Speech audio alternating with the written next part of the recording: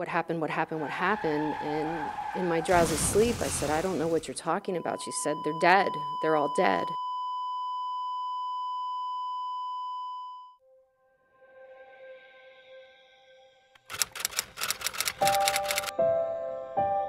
And it was my first spring break from college. And it was a very rainy, cold, dreary March morning uh, when I got a frantic phone call at 6 a.m. And it was my neighbor's mother who was hysterical, asking me what happened, what happened, what happened. And in my drowsy sleep, I said, I don't know what you're talking about. She said, They're dead. They're all dead. And I said, Who? And she said, Mark, Jeff, and Bruce. Um, all three of them were three really great high school friends of mine. And um, I just kind of went numb and I couldn't talk for a moment. And I, I, I, just said, I don't know anything. I said, if I find something out, I'll call you. So as the day went on, um, we found out that only two of my three friends had passed, which was still just too much to bear. And the driver of the car uh, was in critical condition and he was hanging on by a thread. We didn't know if he was going to make it or not. My friend Mark went to East Stroudsburg with me, and we were supposed to drive back to school the next day um, for, the, for the new semester, and I had to go back without him, which was just traumatic. And um,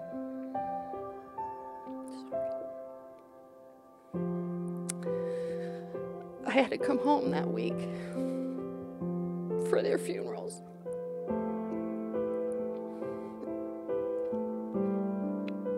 And it just wasn't right. You're not supposed to die when you're 19. And all three of the guys were really good guys. Um, they didn't do drugs. They they were smart. They were kind. They were athletic. They were like these all-American boys that just made one one drastic mistake that took their lives.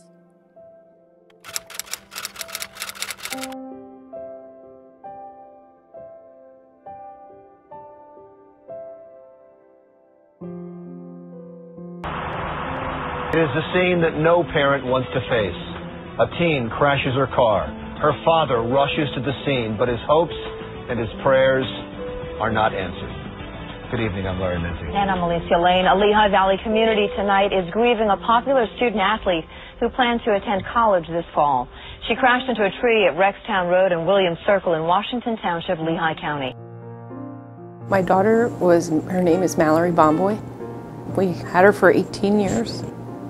She was a very, very active person. She played four sports and was actually going from one sports practice to another when she had her accident. She was by herself in the car um, on the phone. Um, they think she hit a rut in the road and just overcompensated, went off and hit a tree. I did get a phone call from her friend who she was on the phone with, um, but she didn't let on that anything had happened. She didn't know what happened even herself. She just knew that she lost contact with her. Um, and she just asked me if I knew where she was.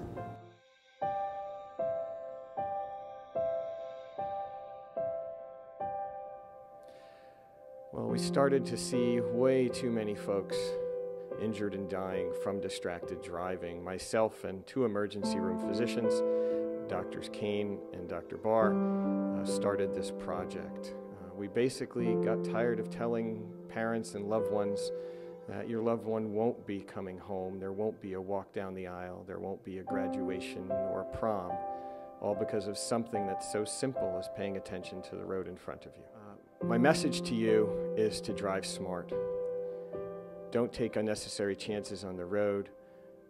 Definitely pay attention to the road in front of you and try and limit your distractions.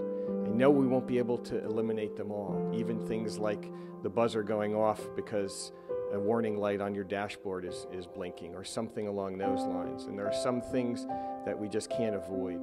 But if we can try and limit distractions, we can eliminate some of that 80% of crashes that occur within three seconds of a distraction. So, that to me is the simple message drive safe, drive smart.